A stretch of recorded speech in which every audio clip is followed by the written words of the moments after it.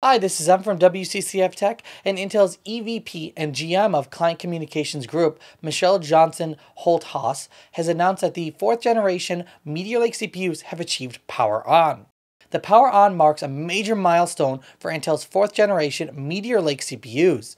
The Blue Team has been sharing Meteor Lake milestones for quite some time now, and the compute tile for the chip was taped back in May 2021, and following the compute tile power on a few months later, in October 2022. It has now achieved full power on, which means that Intel can now start forming the first engineering chips around it before shipping it out to customers and initiating the mass production process. Now, there's certainly a long road ahead, but Intel has already confirmed that their fourth generation Meteor Lake CPUs are booting successfully within various operating systems, and as confirmed during the 2022 quarter one earnings report from just a little while ago.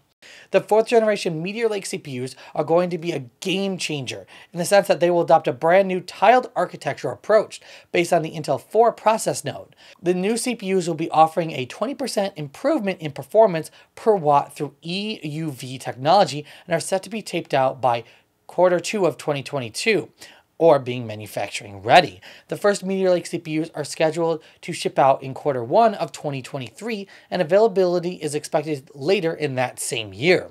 According to Intel, the fourth generation Meteor Lake CPUs will, will feature a brand new tiled architecture, and what this basically means that the company has decided to go full on chiplet design.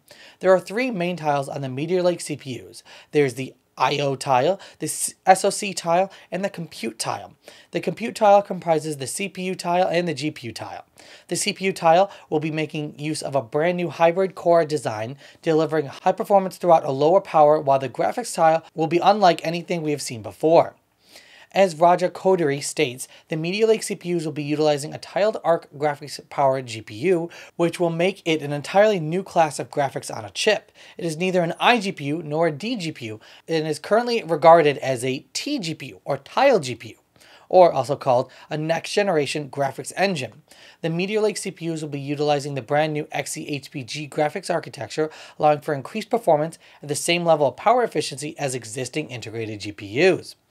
This will also enable enhanced support for DirectX 12, Ultimate, and XeSS features that are only supported by the Alchemist lineup as of right now. But what do you think? Let us know in the comments down below, and don't forget to subscribe and hit that bell icon for more fantastic tech news.